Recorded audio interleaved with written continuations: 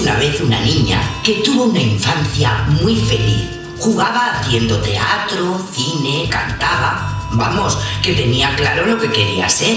Comenzó en Miridiana de Luis Buñuel y no sabía que eso sería el comienzo de una vida llena de emociones, una aventura de amor hacia todos los niños. Después, la niña se montó en una pompa de jabón y se fue a viajar por el mundo, a jugar con los niños y a lograr que sus sonrisas le llenaran de emoción.